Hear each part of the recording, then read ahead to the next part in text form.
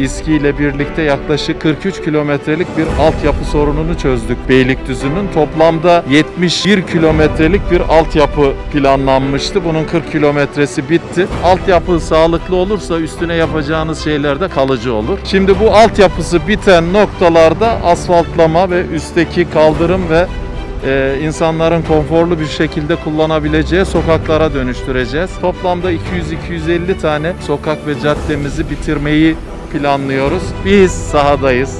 Vatandaşlarımız endişe etmesin. Adım adım bu kentin problemlerini çözmeye devam ediyoruz.